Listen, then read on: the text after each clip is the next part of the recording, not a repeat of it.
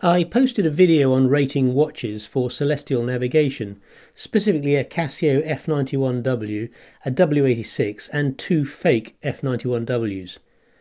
I placed the watches in a desk drawer at room temperature and every week recorded their time compared to network time using high speed videos.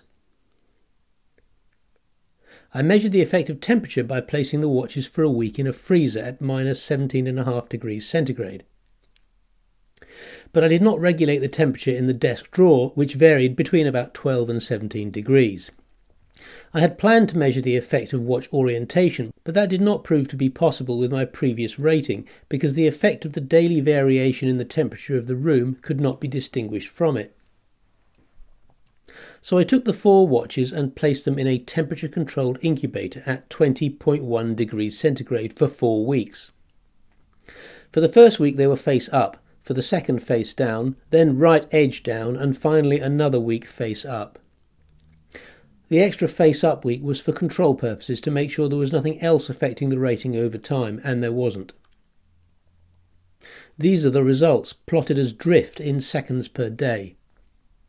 Yellow and green are the fake F91Ws. Blue is the real F91W and red is the W86. Again, the fakes were much less accurate overall, with daily drifts around one and a half to two seconds. But that seems to be because of poor calibration, as the effective position was very similar on all four watches. They all gain time most when positioned on their edge with the right side of the dial down, and least when face down with the face up position being intermediate.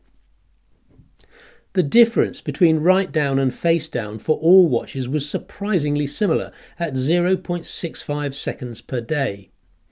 The difference between right down and face up was fairly close to half a second per day for all watches. That's a pretty significant effect when you compare to the temperature coefficient. My estimate of the temperature coefficient was a pretty crude one because quartz crystal temperature coefficients are not typically linear with temperature and I simply made measurements at minus 17.5 degrees and plus about 15 degrees centigrade. But from that crude estimate, the effect of the difference between having the face oriented right edge down versus face down is about the same as a 4 degree change in temperature.